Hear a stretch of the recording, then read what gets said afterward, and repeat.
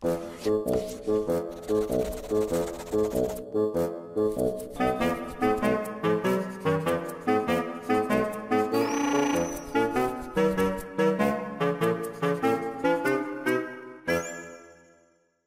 know already pretty much about crystals, but you have to remember that, these are not the only form of solids. Solids generally are divided into crystals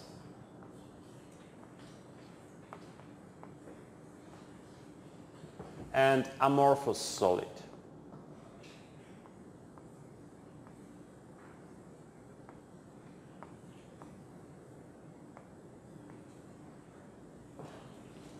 This is a difficult, difficult word, but generally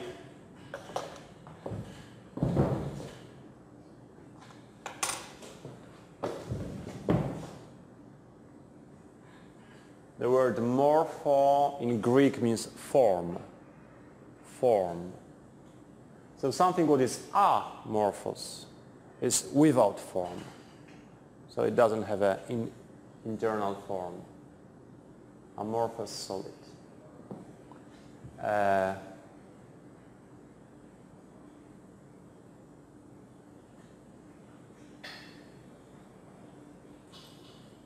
yeah, probably don't meet this word very often, but I mean it's not very difficult to remember when you know that morph morphem, morphem means a structure or form.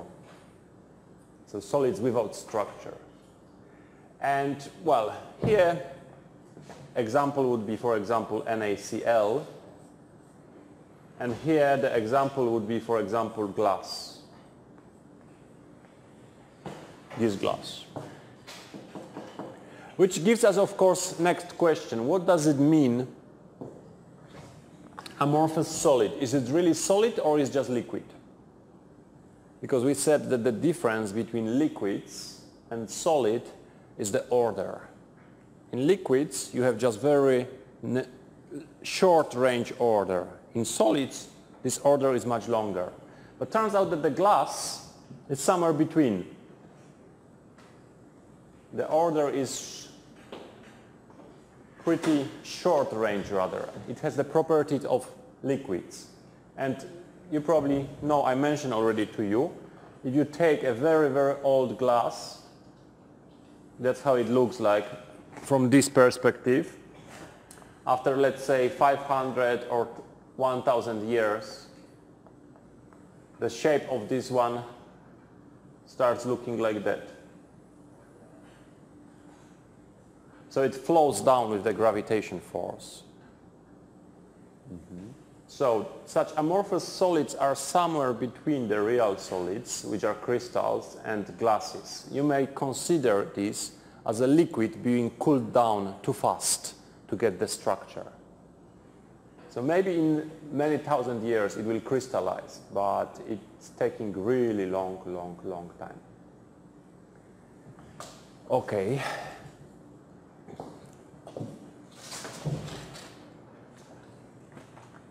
Now, with the crystals, generally people divide them into four groups.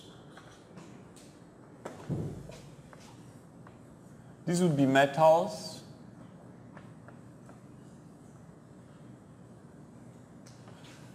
These would be ionic crystals.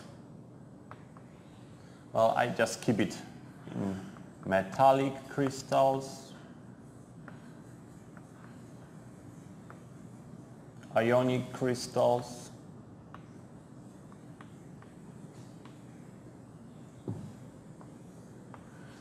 molecular crystals,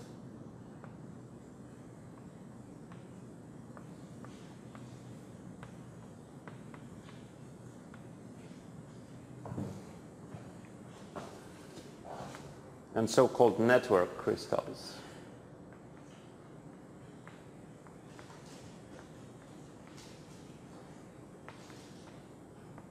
However, I prefer the work covalent crystals.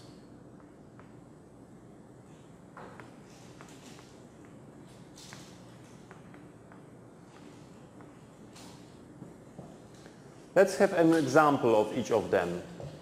Metallic crystals, not to look far, any metal would be generally a metallic crystal. Mm.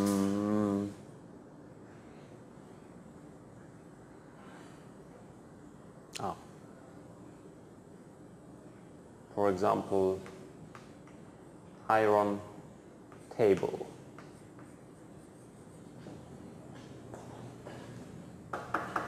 This part.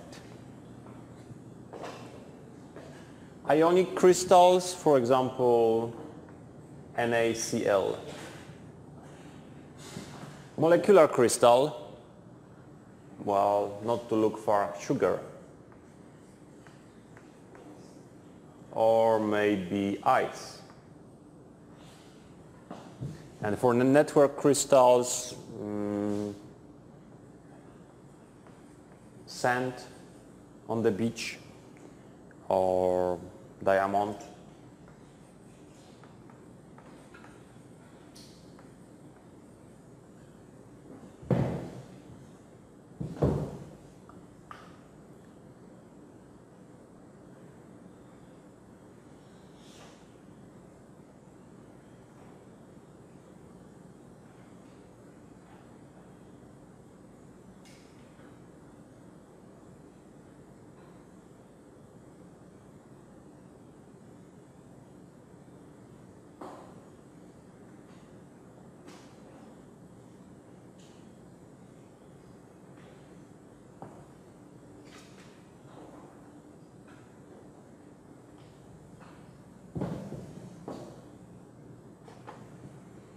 Now, it's kind of easy to distinguish these two because here you have metallic bonds.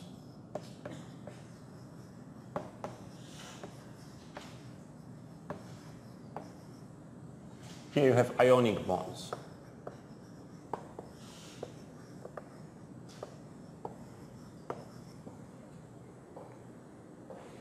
It's also easy to define this one because here you just have covalent bonds.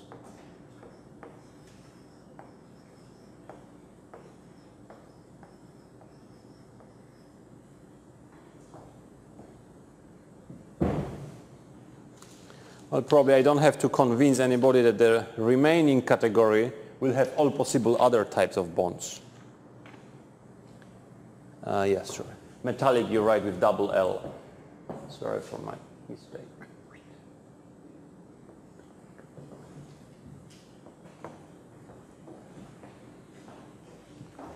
So here you have van der Waals bonds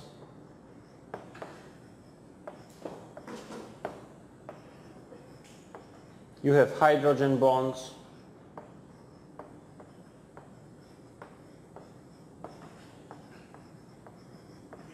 You have donor-acceptor bonds.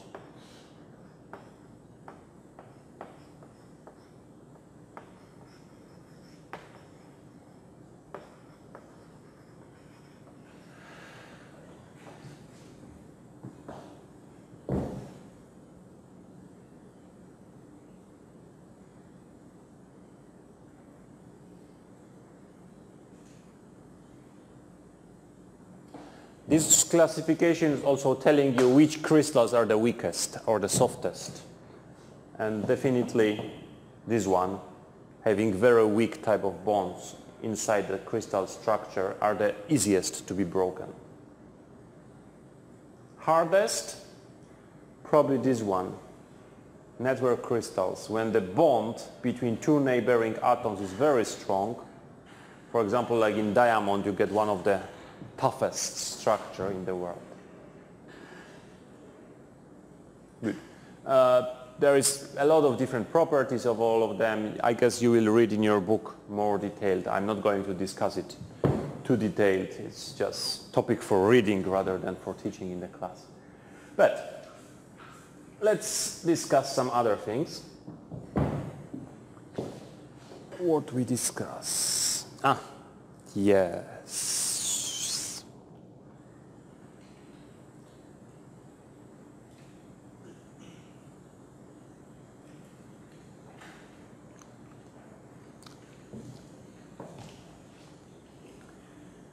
Now we want to discuss metal clusters.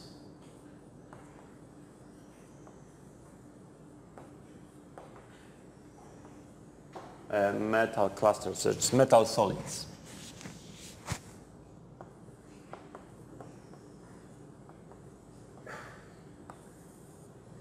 And for metallic solids, the most popular crystals is the C, CP structure and the HCP structure. So cubic close packing and H, uh, hexagonal close packing. So the hexagonal primitive or it's a cubic face center cell. These are by no means the most popular structures of crystals made of metal atoms. Next one that is relatively popular would be the cubic primitive. And the last one that is also pretty popular would be the cubic body-centered.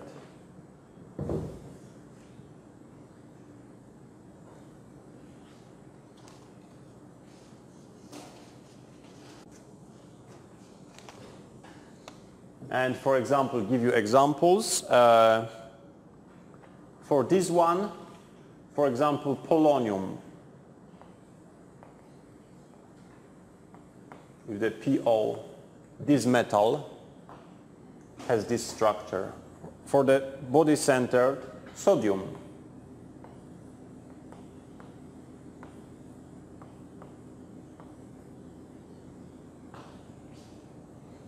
For this one, for the face center, platinum.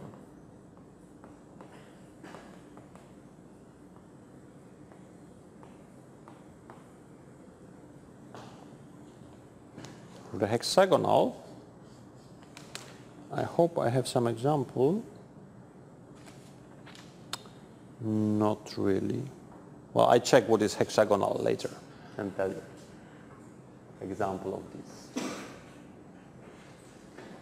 Well, probably these four cover like 98% of all possible metals. There are some exceptions, like for example, if I remember manganese, manganese has a very crazy unit cell with 56 atoms inside. That's, that's example. That is very strange. yeah, okay. So this for metallic solids. Now, in the metallic solids, the most popular one is this. So let's discuss for a moment what can happen in these metallic solids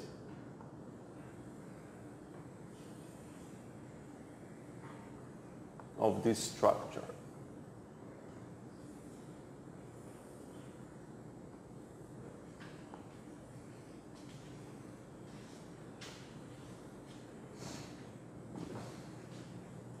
Okay.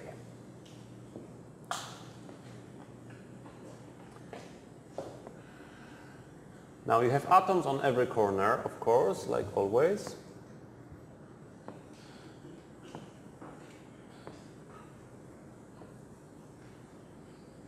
And you have atoms in the middle of every wall.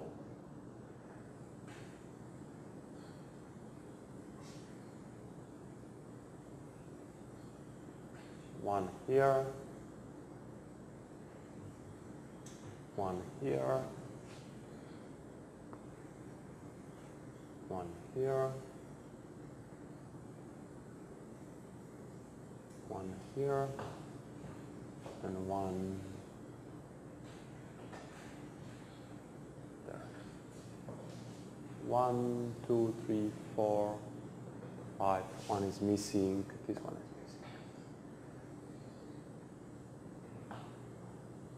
missing. Make it larger to show it here. Okay. Now, I want to show you that these are atoms, but between the atoms you have empty spaces. So let's try to draw these empty spaces. First type of empty space is so-called tetragonal hole. And now I will, well, what, when I mean tetragonal,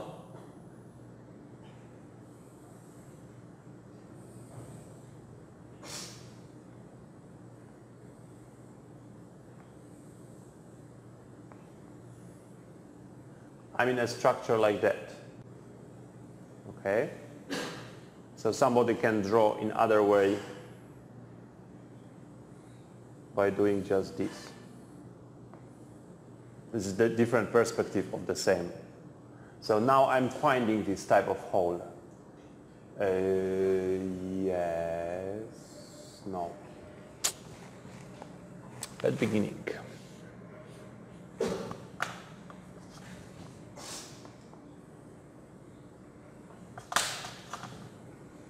Okay, I'm connecting these two atoms and these two atoms.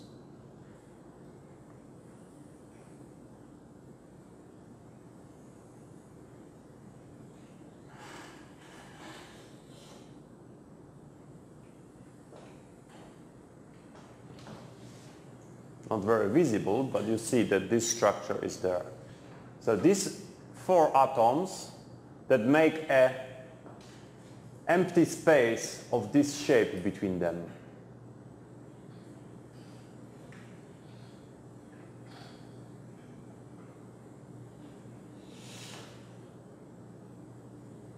There are many of them as you can see.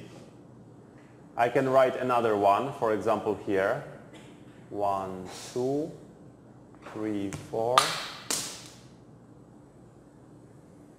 One, two, one, two. So there is one here, one there, one there. There are really many of them inside these crystals. The space is between four atoms like that. Okay, now I'm, this is called tetragonal hole.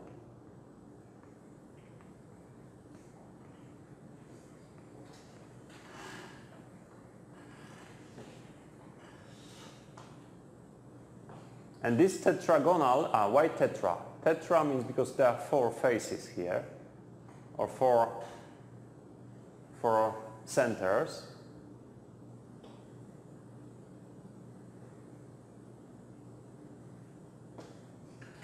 And this is very small.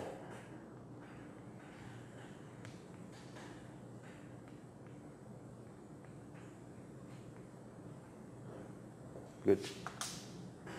There is another one, another type of hole in this same crystal. So let me first write it.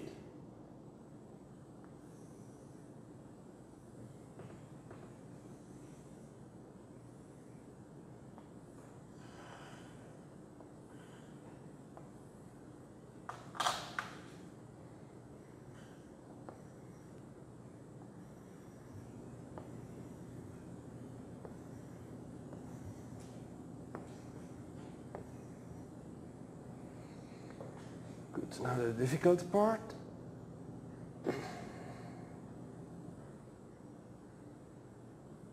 Two.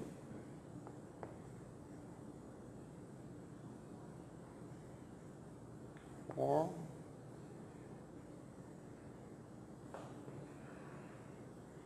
Six.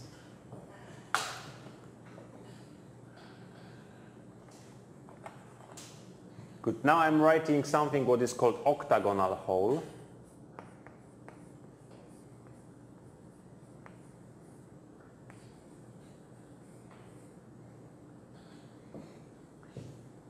So octagonal, this was tetragonal. Octagonal looks like that.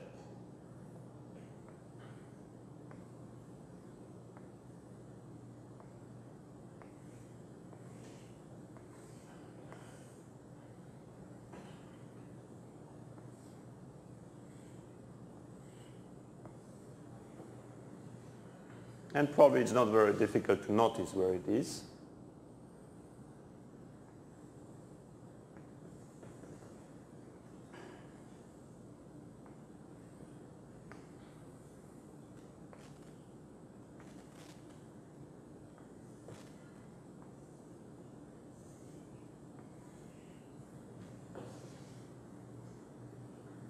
So you may say it's in the center.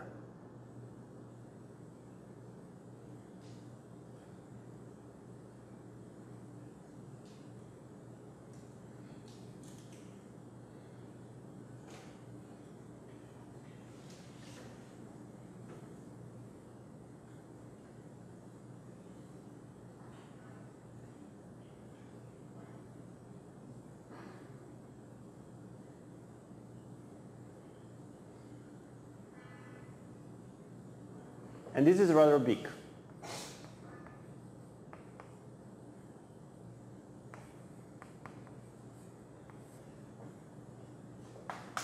Good.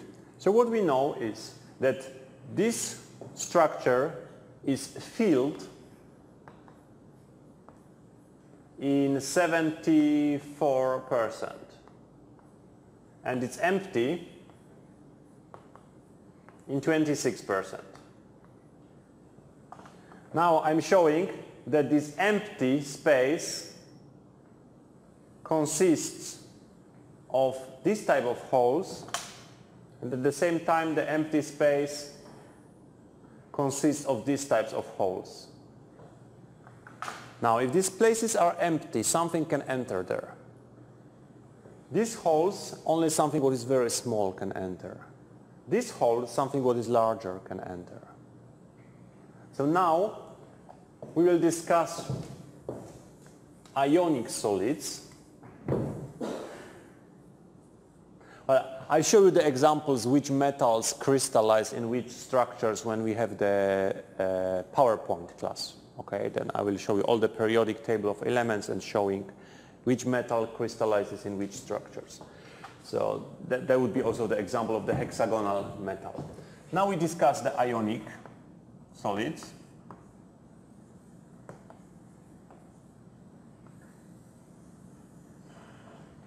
And we have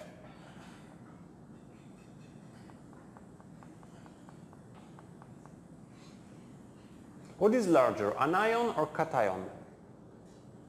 Usually. Anion. Anion is larger. So we have a cubic F network for anions. And to be consistent with this picture, I should use orange here.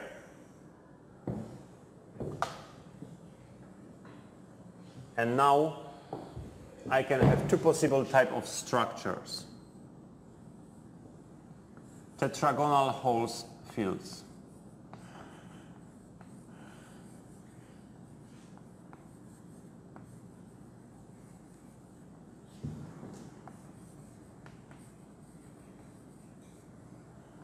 Or the other structure would be the octagonal holes. Well, I'm, I'm probably mistaken. Should be octagonal. They are called octahedral.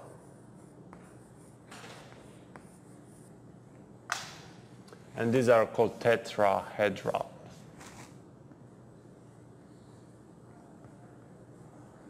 Again, it's, it's a problem with,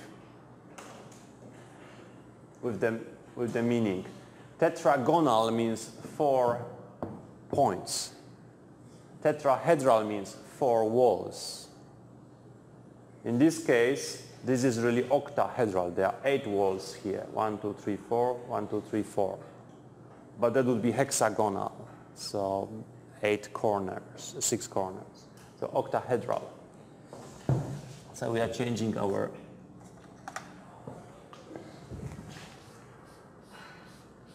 writing to tetrahedral and octahedral holes field.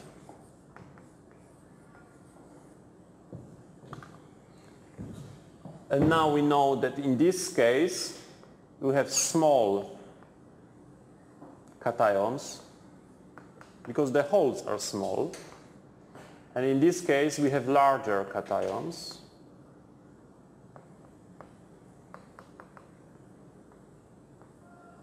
What happens when the anions and cations have similar size? Well, then we don't have cubic F anymore, but we have cubic P network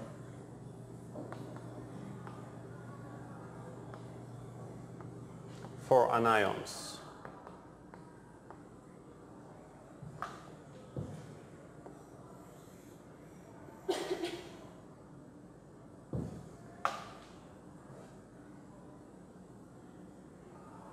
Why we have cubic P network for anions? Ah, it's easy to understand when you draw it. So we again start with the unit cell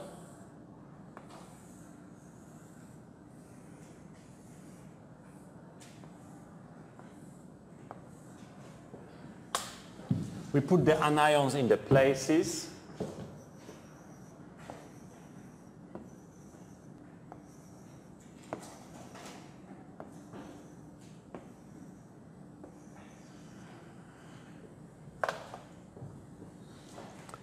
And now you see that the hole that we are writing here with blue or with red, now the hole looks like that.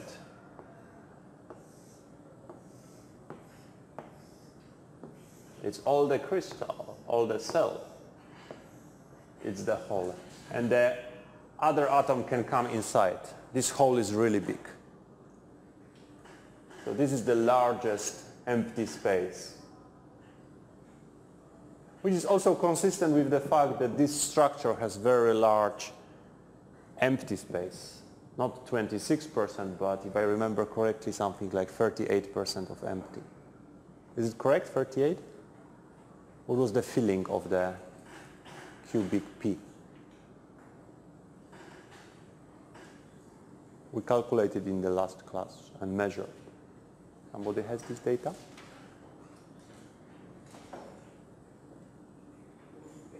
Forty-eight? Forty-eight is empty, right?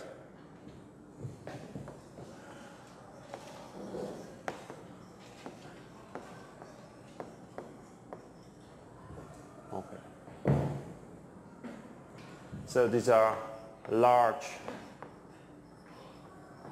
cubic holes.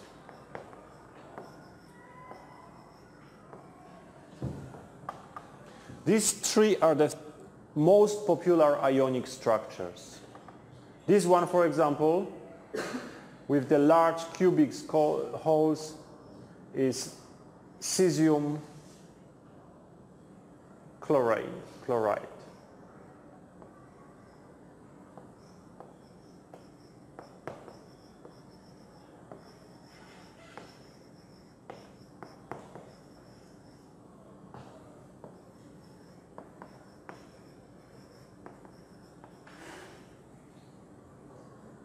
Again, cesium chloride is one of the structures having exactly that structure when the anions are on the corners and the cations are in the middle. But there are many others, but usually people use this name for saying this solid has the cesium chloride structure. What about these octahedral holes fields, this one in the middle? Well, turns out that this is the structure of NaCl.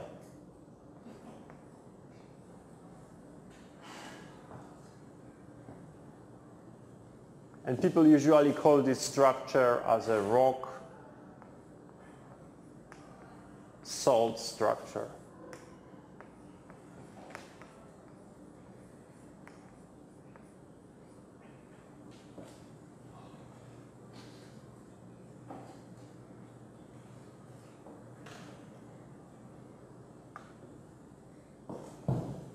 Not with this one.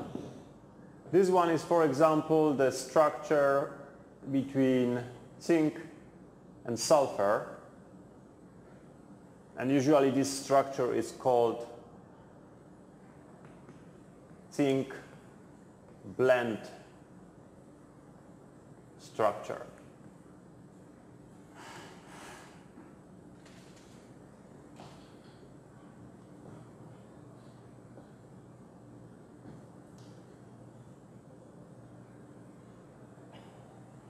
But somebody may tell me, oh, this is strange.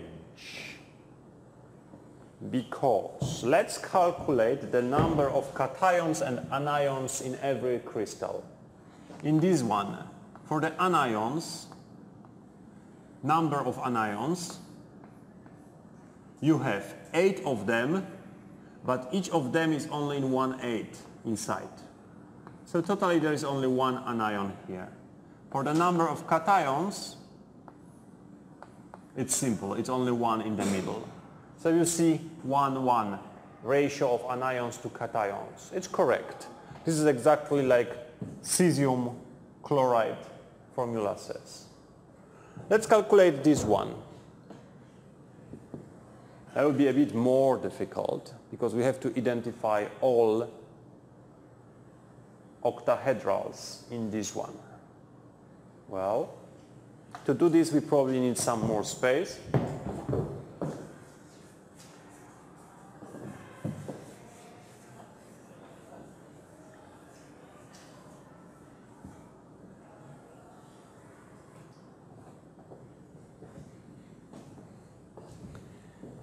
And you see that one of them is inside in the middle. Now when you draw the next cell on this side, there would be another one in the middle. But you see that these two will also make a space for something what would be above. Mm. Okay. Let's try to do this.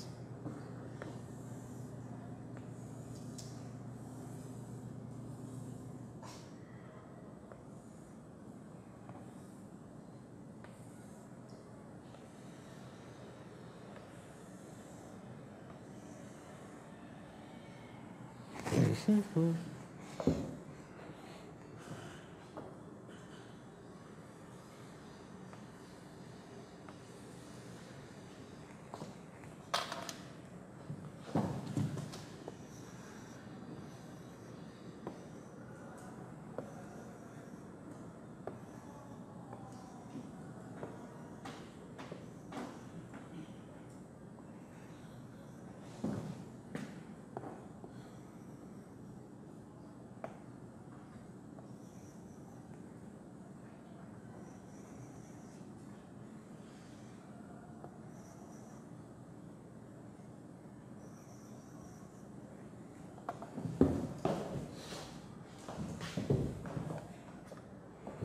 And we, we, it's easy to find the one of them.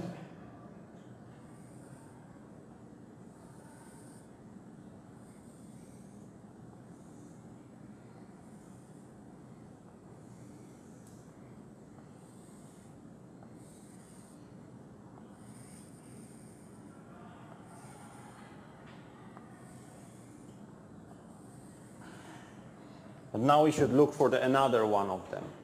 So another one of them, I'm going to use the blue chalk for it. Another one of them will come here.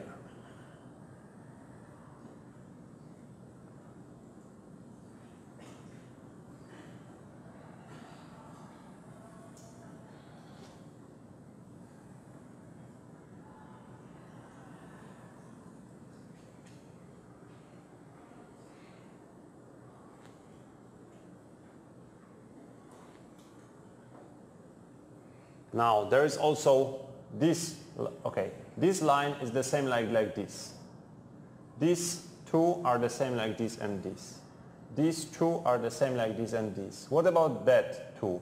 They are sticking out the next cell. Okay.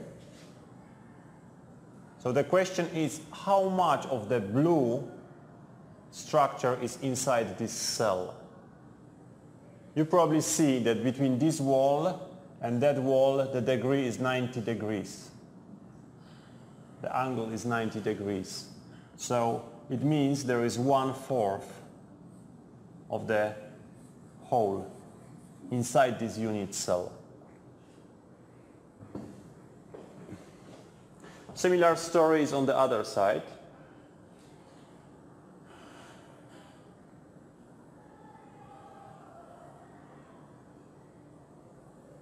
One-fourth.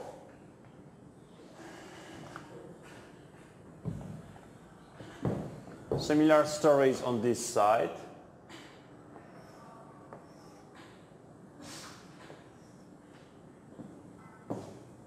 And similar stories on the other side. One, two, three. But now it will be very difficult to see anything here more. But anyway, this is one fourth and one fourth. How much space we already filled? Taken, taken, taken, and now this part will be taken by the tetragonal holes, four of them. So you see that this is one tetragonal holes, another one will be there. Between these two tetragonal holes, there will be empty space not taken by anything. But in fact, there will be another, another uh, octagonal holes around here in this area. How much of it? Turns out that this is only the upper part. So we only have this part of the tetragonal hole there, the upper part, which is one one eighth. Let me think once again. One, two, no, it's one fourth also. So we have, yeah, yeah, that's another way of thinking about it. You can think that each line like that has one fourth of the whole. So this line, this line, this line, this line, but we also have this, this, this, and this. Okay, that's a good way of counting this. So for the octagonal holes, one of them is in the center, and we know. And now we have 1, 2, 3, 4, 1, 2, 3, 4, 1, 2, 3, 4, 12 times 1 fourth. Because every line like that is inside some tetragonal, octagonal holes. So that would be 1 plus 3 is 4. So the number of octagonal holes is 4. Good. We are ready to calculate how many anions and how many cations. Number of anions is each of them in the corner, 8 times of them is 1 8 inside plus there is six them of the wall and each of them is half, which is three anion, uh, four, four anions. Number of cations is the number of these holes. Is, as we calculated, is 1 plus 12 times 1 fourth, also 4. So the number of cations and number of anions is again the same, which justifies the structure NaCl. I know that counting them is not easy, but if you do it at yourself at home or best, build the model out of some something, then it will be easier to see. Good. Now we are going to calculate the number of tetrahedral holes. Okay? And you see that these two atoms contribute to one whole. These two contribute to one, one, one.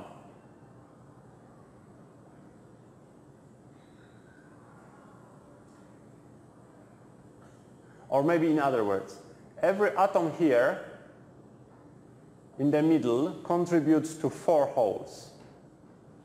You probably can see it in all four directions. So now I'm calculating the number of tetrahedral holes. And would be every atom in the middle, and there are six of them, contributes to four holes. Four holes.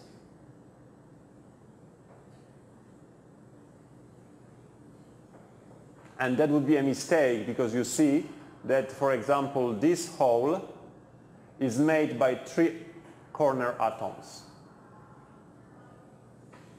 So we calculate the number of them three times. We have to divide it by three.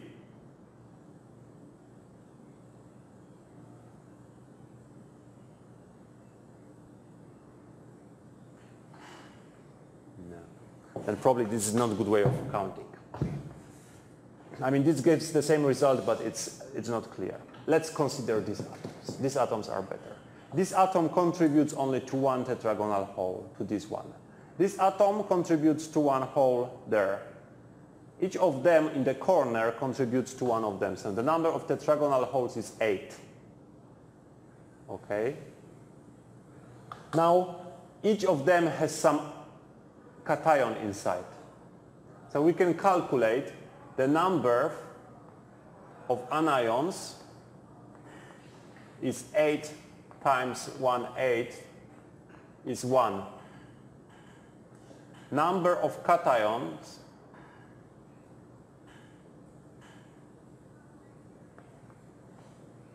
and you see uh, 8, 1, 8 plus of course 6 times 1 half which is 4. Number of cations you see that it would be equal to the number of tetrahedral holes. So it's equal to 8. We got a problem. Here is 4, here is 8. It doesn't correspond to this ratio. Maybe if we put 2 here, that would be correct. What is wrong? Turns out that nothing is wrong. Turns out that just only half of the holes are filled. The other are empty.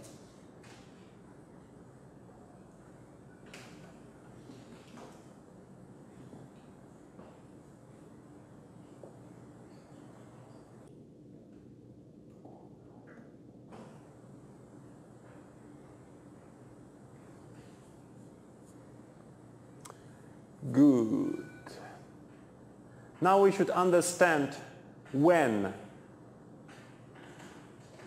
two ions, cation and anion, are choosing which network. This is usually understood by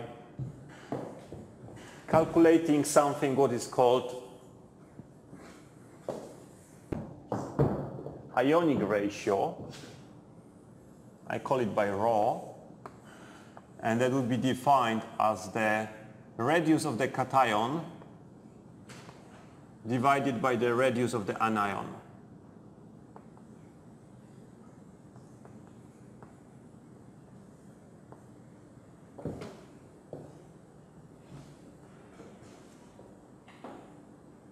Easy to calculate from the data, atomic data or ionic data.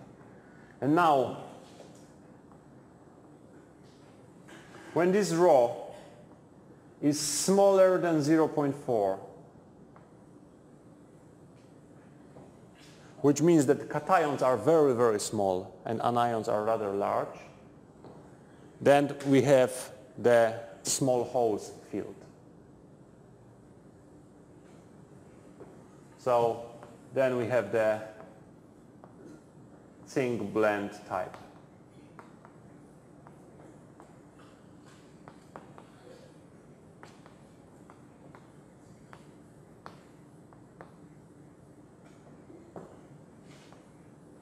If this rho is larger than 0.4 but smaller than 0.7, then we have the larger holes, the octahedral holes filled, and we have the NaC, NaCl type.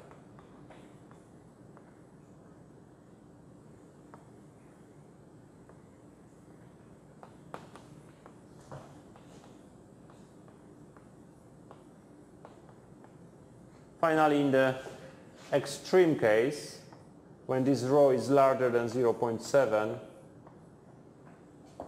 we have the cesium chloride type of ionic crystal.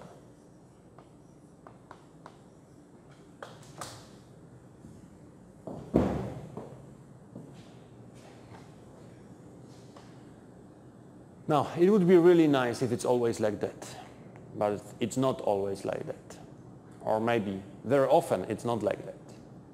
This is maybe good for 70% of cases. The other one are not following this simple chemistry.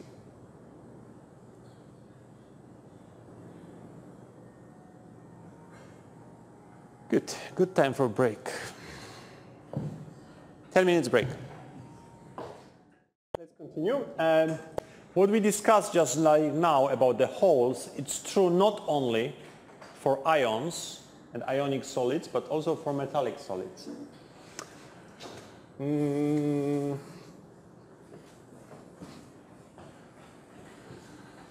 Ah, yeah, but before we go there, I just wanted to discuss with you how the solids really look like.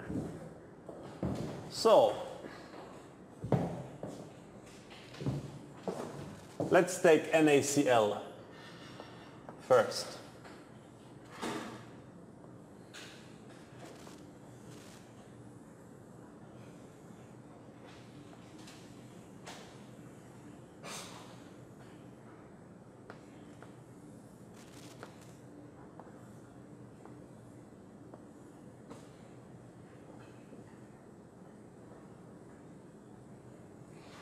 Maybe good question. This is not nothing to do with chemistry, but just for logical thinking. This is a three-dimensional cube. This one is a two-dimensional cube.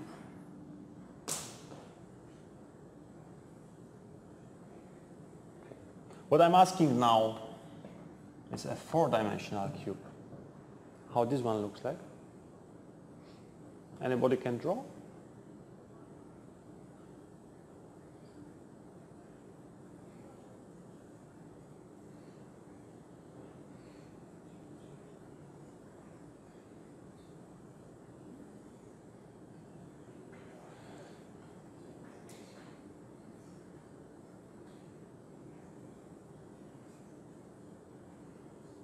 Somebody can say, no, it's impossible because the degree must be 90 degrees between the cube.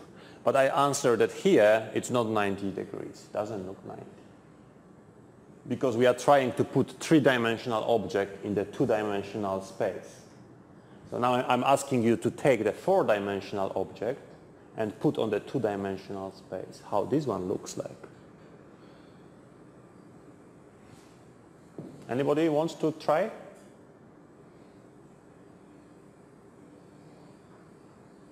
I mean, this, again, this is completely useless. You never use it in your life. But I think it's interesting to open your perspective a bit. Okay, I try to draw. Let's start from the one-dimensional cube. One-dimensional cube looks simple. Looks like that. Okay? Now, two-dimensional cube, you take this cube, okay, I put it in red, okay? You take this cube, you put it here, and then you drag it in the other dimension down and make a copy of it. And after you make the copy, you just connect. So that was the transition from the one dimension to two dimensions. Now, from two dimensions to three dimensions, you just take a two-dimensional cube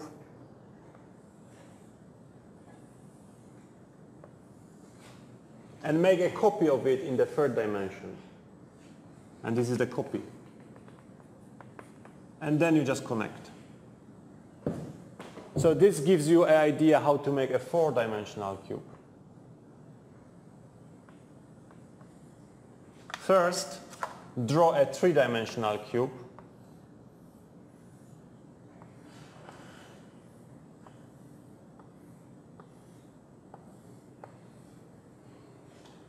And make a copy of this in the fourth dimension, wherever it is, here, here, here, you can choose any direction. Let's say I'm choosing this direction. Okay. So I'm, this point goes here. So if this point goes there,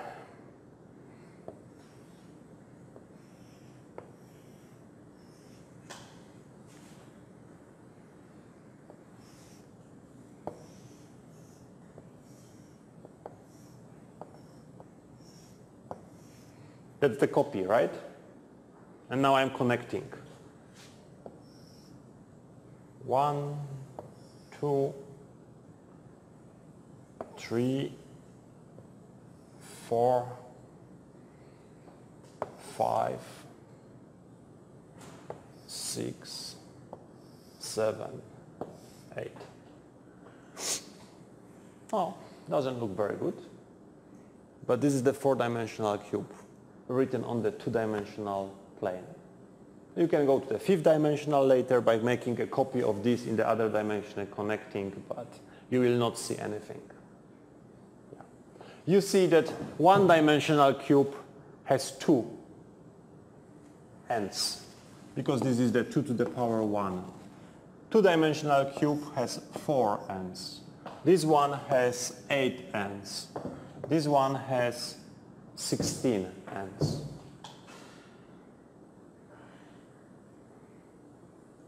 Well, if you look at this a bit longer, you see that the cubes that you have here, you can find also in some strange places. You see that this one, one, this is also a cube. You can also find another cube, of course, here, another cube also here, just a bit distorted. There are many cubes inside. I suggest drawing it as an exercise at home. Okay, finish the digression. Let's come back to our structure. NaCl.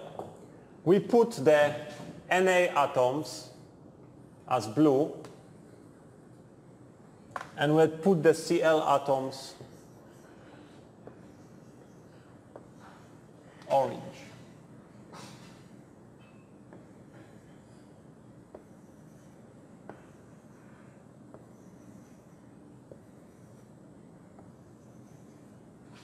So we start with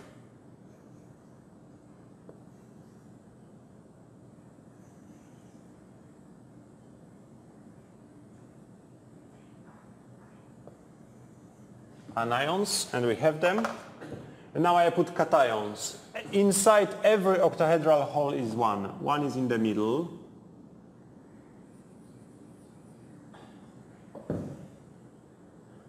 And now for every octahedral hole I'm writing one. So one here, one here, one here, one here,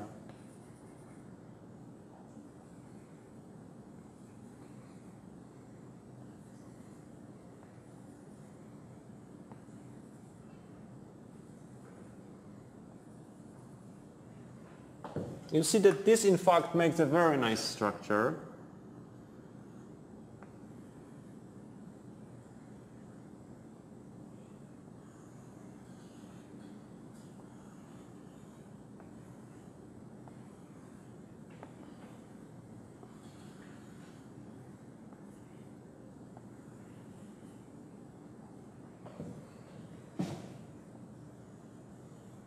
Much nicer if my drawing is nicer.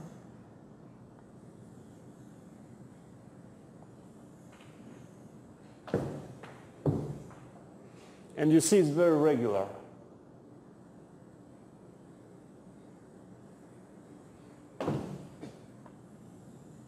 Thank you. Good.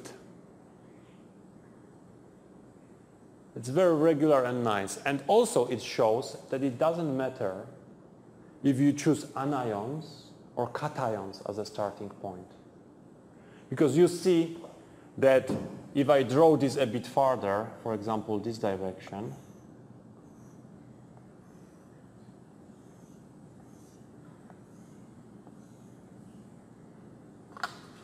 that there are cations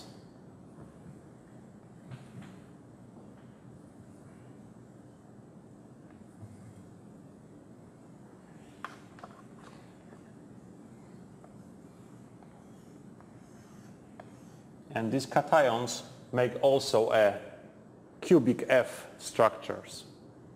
It's just shifted with respect to the anion cubic F structures. So this is explaining how one Bravais type can be used to construct such more complicated structures. Just two cubic, two cubic F unit cells are overlapping with the shifting of half period of the cell down or this direction or this direction. Okay? Good. So we know how the NaCl structure looks like. It's pretty easy to, to draw the structure of the large uh, cubic holes. So Ca, C, uh, cesium, Cl.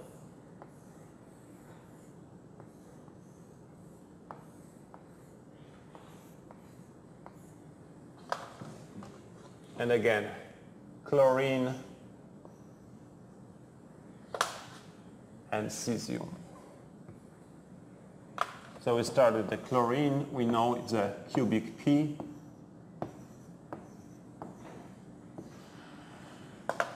And we know that inside there is one big cesium, everything. Now, if you think about that longer, you see that you can make a copy of the unit cell here.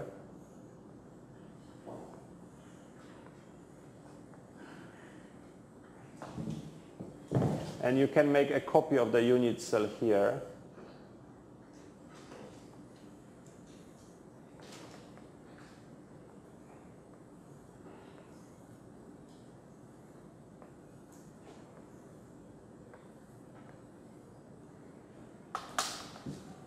And in the copies of the unit cell, the blue atoms will be always in the middle.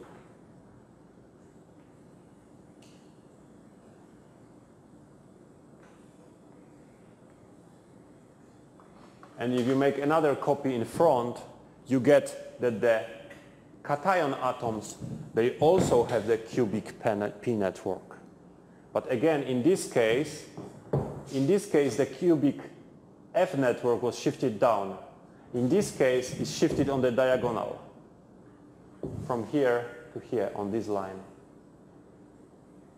So again, you have the simple Bravais type of cubic P repeated with the shifting for anions. And finally, we draw the last structures, which is the tetragonal hole. This is the most difficult one to draw. But still, we don't give up. We just try.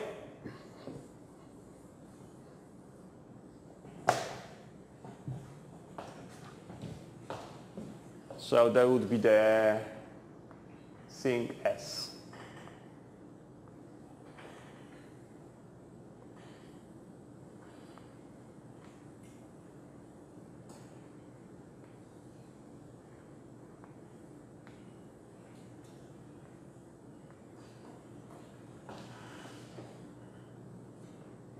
So again, we start with putting anions in the place. And the anions would be, of course, the sulfur atoms. And later we put the zinc atoms in a place.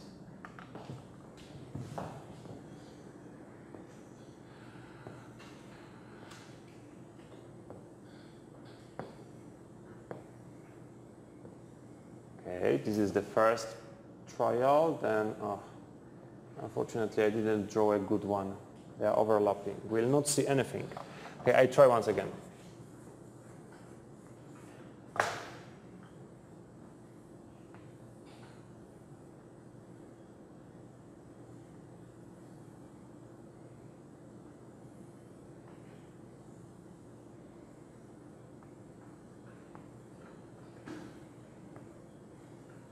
Probably a bit better.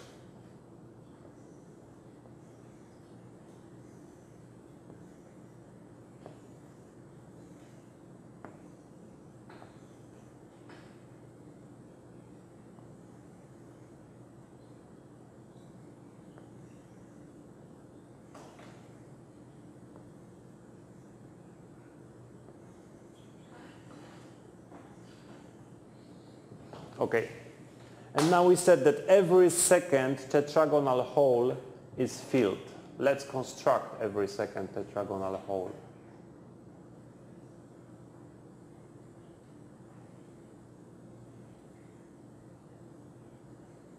One.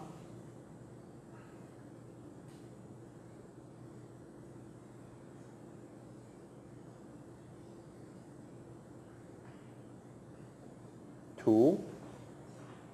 I use blue for this one. For the other two, I use yellow.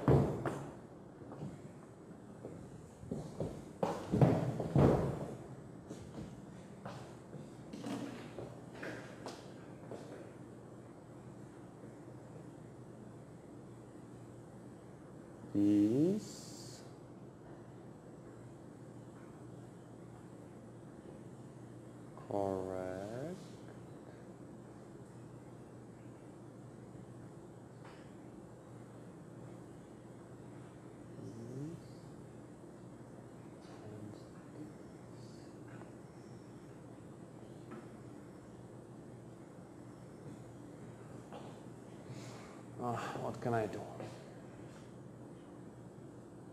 And one more left. That would be here.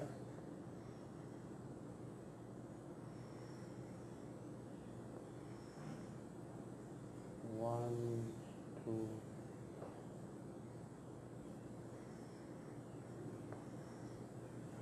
Oh. I know, you don't see anything, but it's, it was difficult job anyway. So I put atom in the middle of every of them. One, two, three, and four. Yeah, that's it. That's finished. You have to draw it at home. Otherwise you never see it. But there is a picture in your book. There would be the figure 538 in the old book page 181 it's 538 uh, no it's not 538 it's 543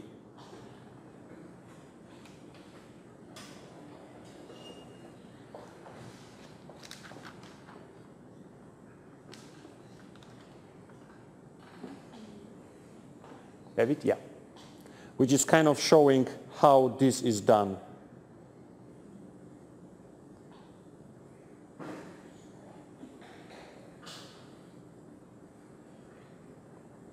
Yeah, I know it's difficult to believe this is the same, but it is.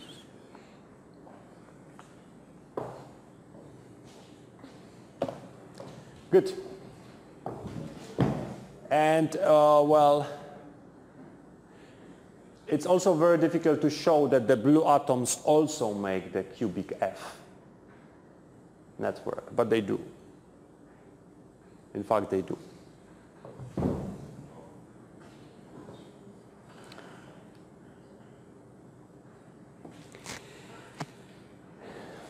Okay, let's continue. After having these structures written,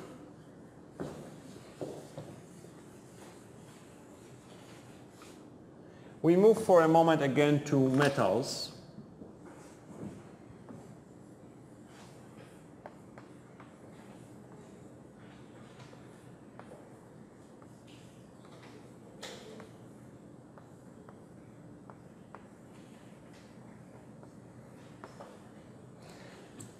And generally metals are divided into two categories. One of them are just metals made of one element only. And other one are the metals made of two or more than two different elements. These are called alloys.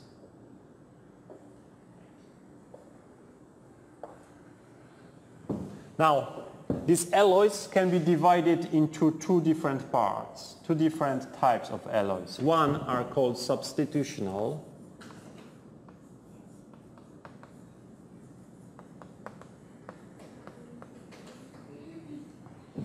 and the other were called interstitial.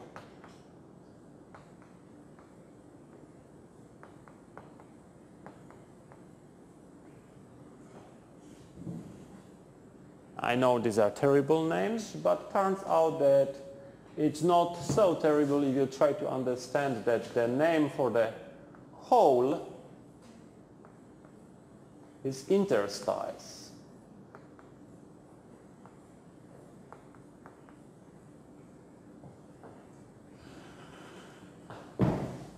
Inter means between and stice means something, I don't know what stice means. But it means between atoms, I guess.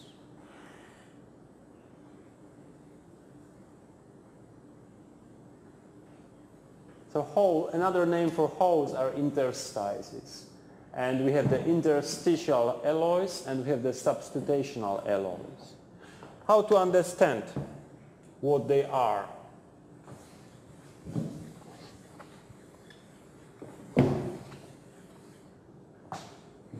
It's very easy to understand when you draw a, some unit cell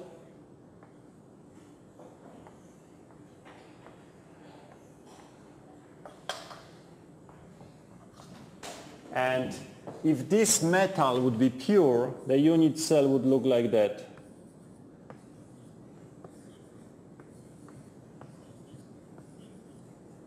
But since the metal is not pure, it has two types of atoms, then some part of them are replaced by the other atoms.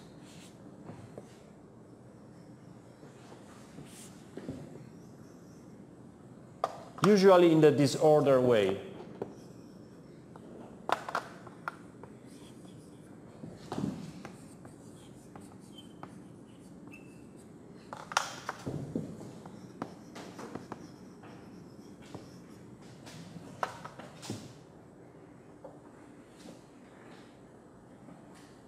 What is the condition for this? The condition is that radius of atom 1 must be similar to the radius of atom 2.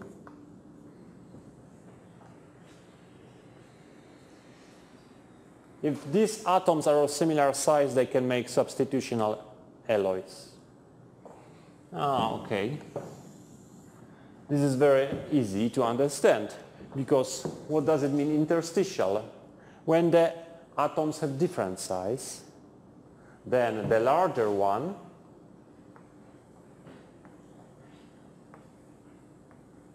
hmm, I didn't try that way.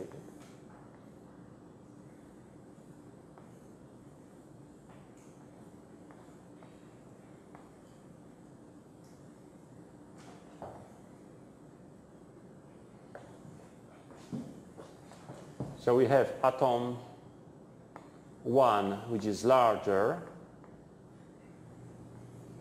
so the atom 1 makes a network, for example, cubic P, and inside the network, somewhere here, is atom 2.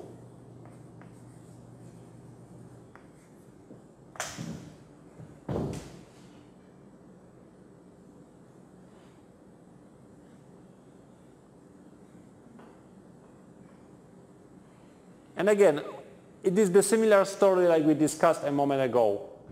In the substitutional, generally everything holds what we discussed for single unit cells, but now just on the corner of the unit cells there can be different atoms. So there is some disorder in alloys. In the case of this one, the situation from ionic solids holds. You can have the cubic holes, big ones. You can have the octahedral holes, smaller, or the tetrahedral, even smaller. And depending on the size between atom 1 and atom 2, atom 2 is the small one,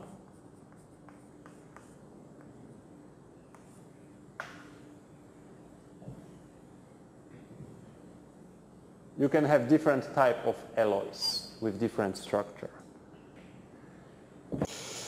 Well, looks like we finished solids.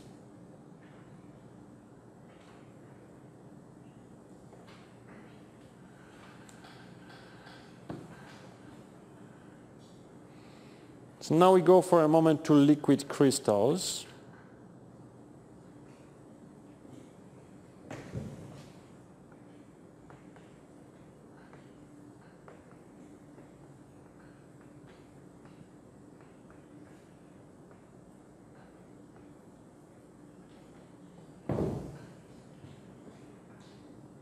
Liquid crystal is something between solids and crystals uh, solids and liquids.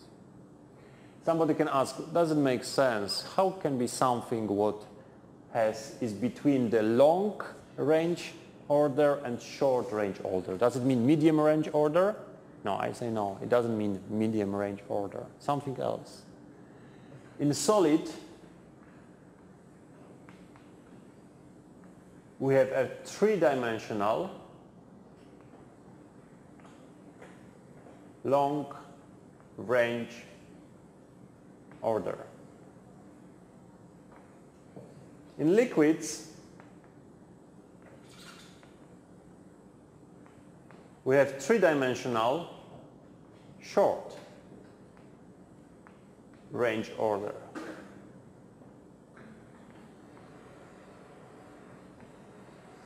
In liquid crystals,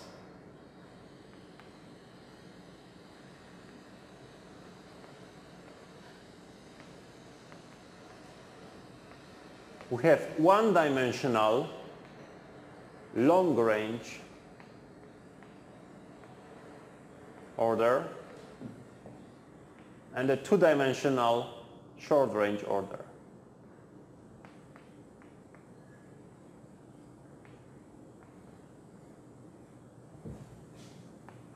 What does this mean?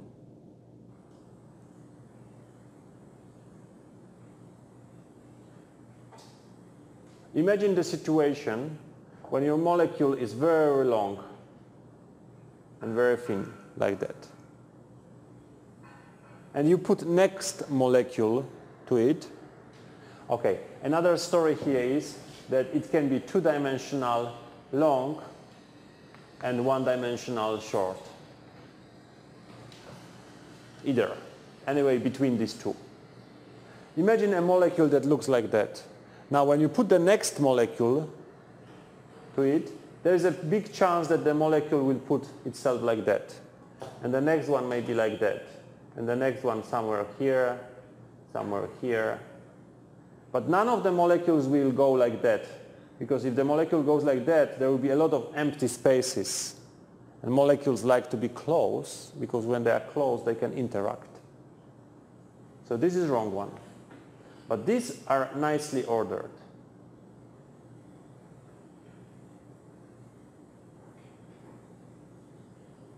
So you see that long molecules have an order that is somewhere between a solid and a liquid.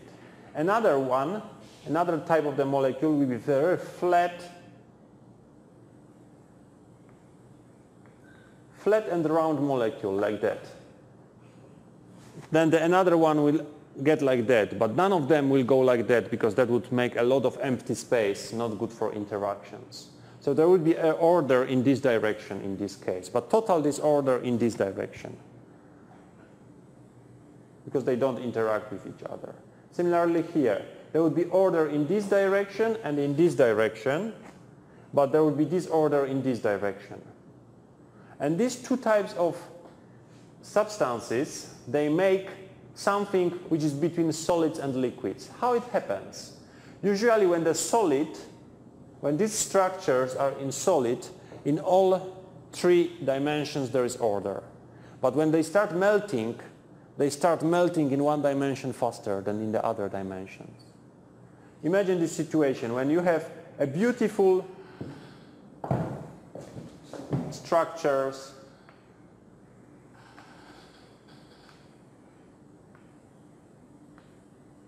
of these things in a crystal.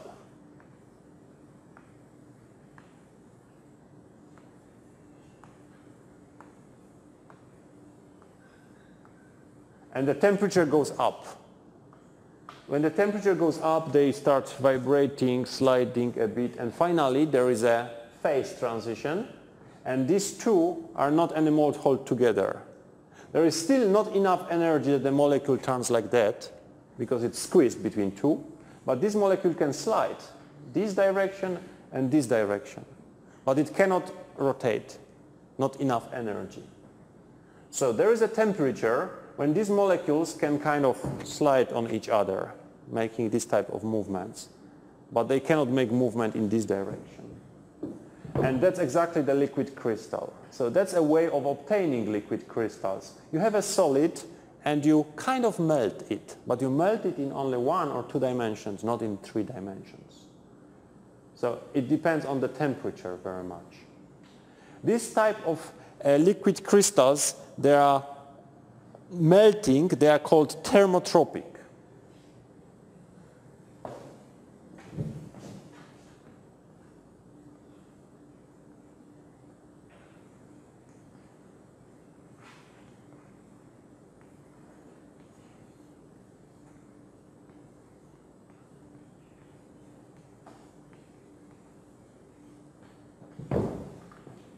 Thermotropic liquid crystals. It means that the temperature can change them from solids to liquid crystals and later to real liquid. There is also another type of liquid crystals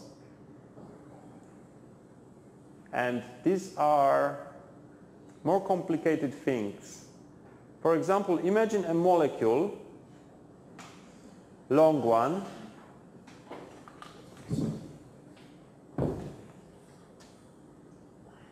that has two ends. One of the ends likes water, the other end doesn't like water. Okay? So here we have the hydrophilic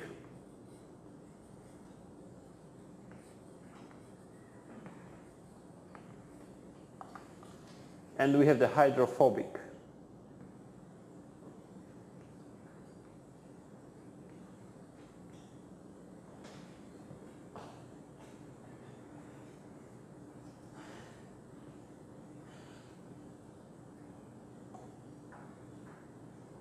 Well, hydro means water. Phobic, there is a name of the, it means afraid in Latin. So the claustrophobic means somebody who is afraid of closed rooms. What it? Arachnophobic means somebody who is afraid of spiders. There are names for all of these Latin names. And philic means somebody who likes something.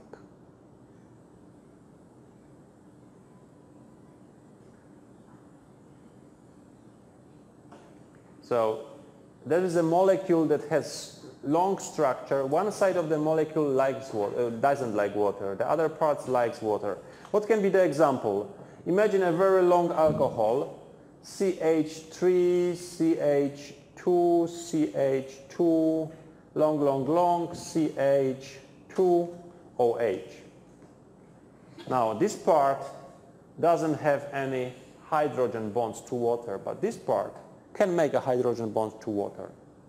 So this is an example of such a molecules that having the hydrophilic and hydrophobic uh, ends. Now what happens when you add these molecules to water? Well, then all of these molecules will go to the surface of the water with one end sticking on the water and the other end sticking out. So the situation will look like that.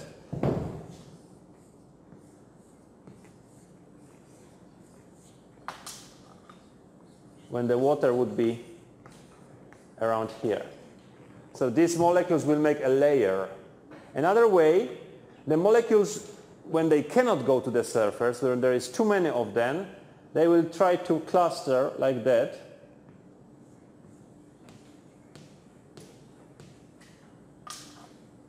when here is the water outside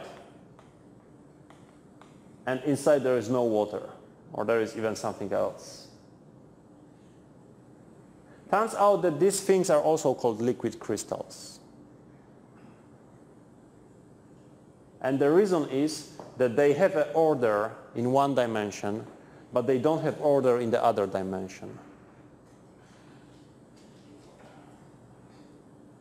And this type of liquid crystals is called lyotropic, lyotropic liquid crystals. Mm.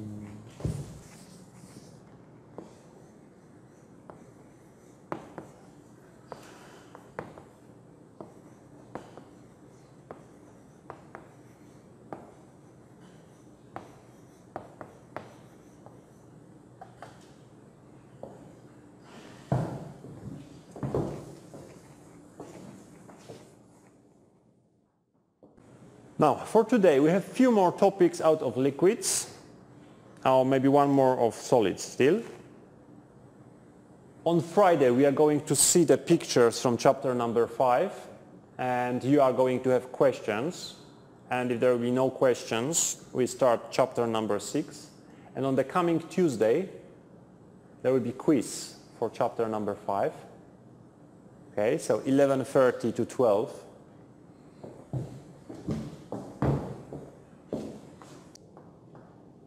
And important thing, for the last two quizzes I've forgotten to give you extra questions. So this one will have three extra questions.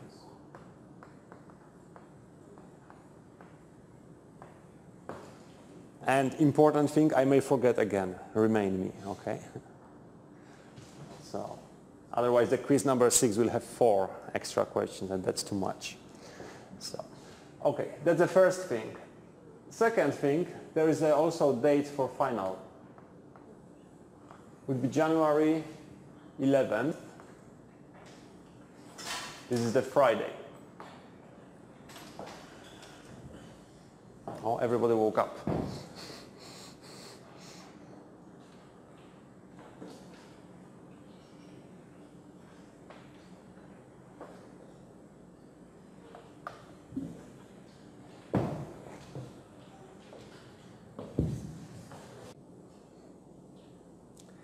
And I'm also happy to tell you that for the final exam, I will be making the questions for chapter number five. So they will be difficult. So you can start preparing for the quiz for Tuesday already.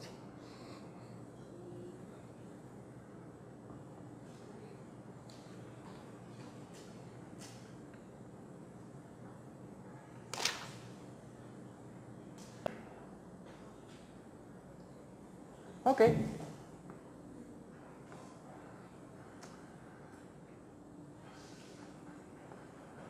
We know that the radius of copper is 128 picometer.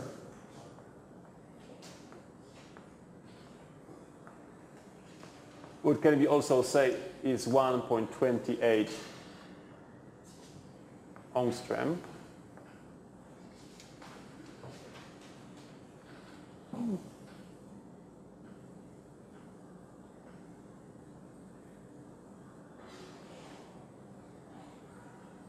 That's interesting. I was doing recently some calculations and I needed this. So we find that in the crystal, I, I don't know what the crystal is, but in the crystal, in the metal, metal, the Cu, Cu is 1.28 angstrom. Now, you don't have to have, this means, what is the chemical formula of this? The chemical formula is, is Cu infinity, infinitely many atoms in a crystal. But what happens if you go to Cu two atoms in a gas phase, just two atoms flowing together? I found the experimental data for this Cu, Cu, and turns out that this is approximately 2.3 angstrom. Huge difference you see that going to metal really stabilizes the bonds. So having only two atoms, it's almost van der Waals complex, but going to the, to the metal, it goes you down to 1.28 angstrom. Huge difference. So always when I'm teaching you, I'm also learning something myself. I never compared these two data. But now it just came. Interesting time. Okay, first thing. Next thing, density of copper is equal to 9.8.93 gram per cubic centimeter. Okay, question.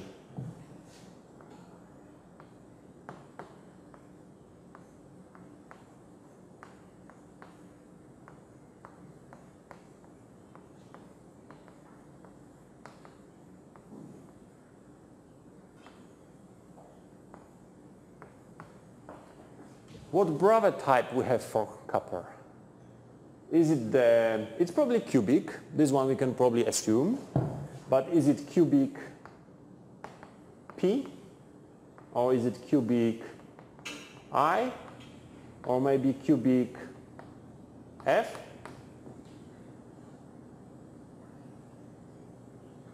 Well, I don't know.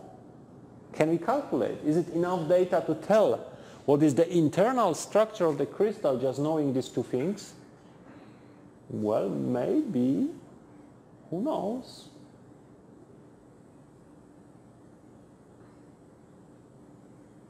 Let us try to do it. We know that the density is mass divided by volume. So let's assume that this is cubic P. If this is cubic P, then our atoms are just on the corners.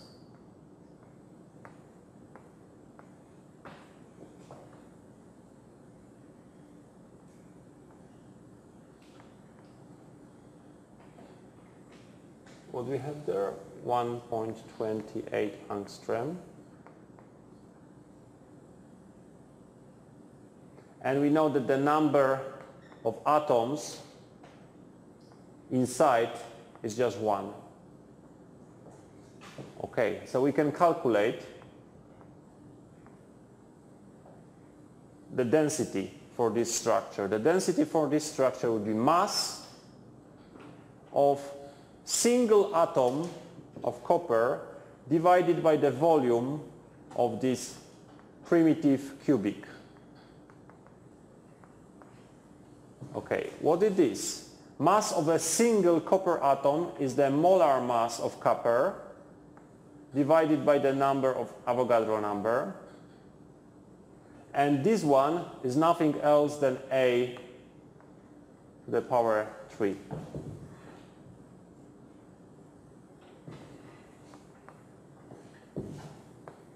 The mass of copper is, who knows, must be around 56, 63.55, right? Now, mm, uh, yeah, let's keep this. 63.55 gram per mole divided by Avogadro number?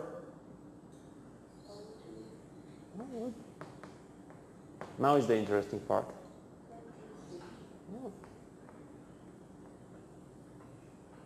Uh, this is unit of this is 1 per mole.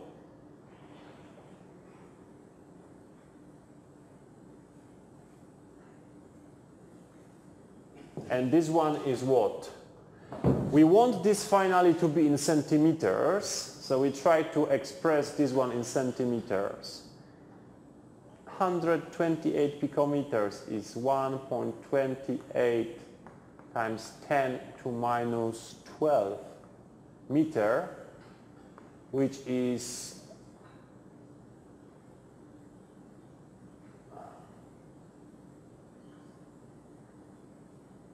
blackout. I have centimeters. 10 to minus 10, right? 1.20.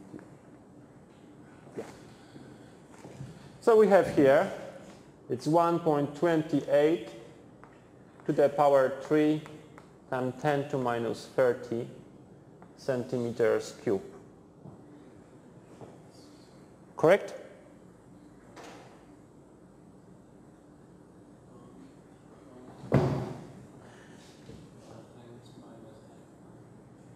Eight?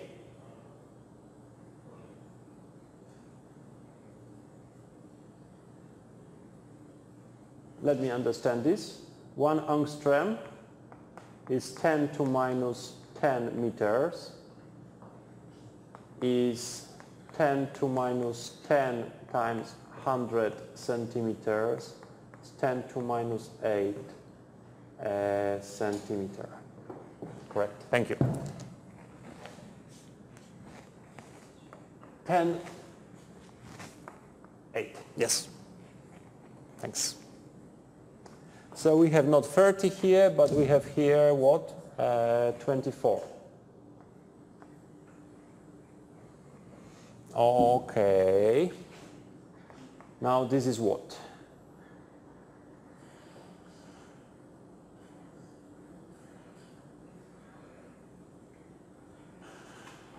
Sixty-three point fifty-five, six zero two. 23 and 24 will cancel, giving just 10 times 128 to the power 3 gram per centimeter cube, which is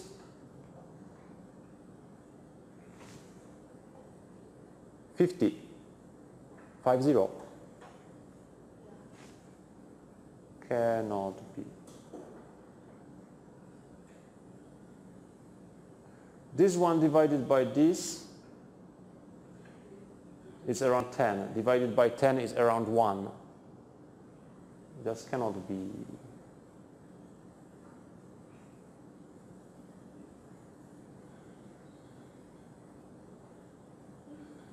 Fifty?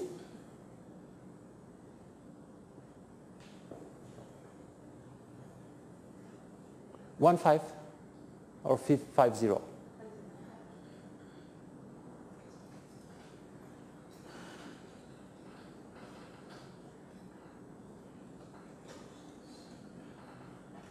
I'm sorry, I have to say no, it cannot be. Calculate it once again.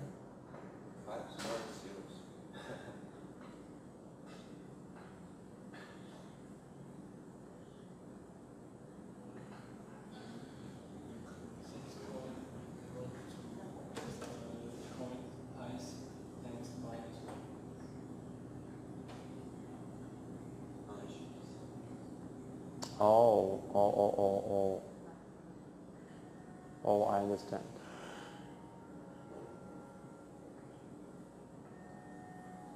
No time today to finish this. Sorry, you're right. Not 10, but 10 to minus 1. Okay, so maybe you're right. Maybe it's around 50.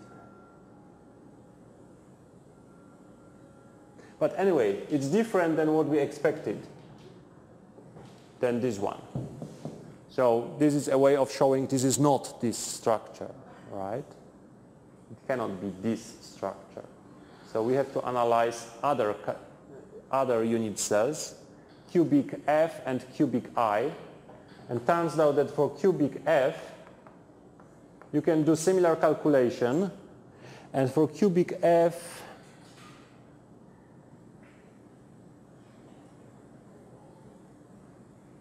you find 8.9 gram per centimeter cube.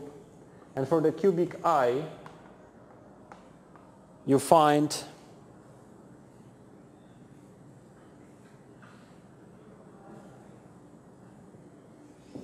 Eight point two gram per centimeter cube. You see that out of these two numbers, this one is much closer the real density of copper than this. So we can diagnose that probably, most probably, copper has the cubic F closed packing structure. Okay, thank you for today. Next class we are finishing the chapter number 5.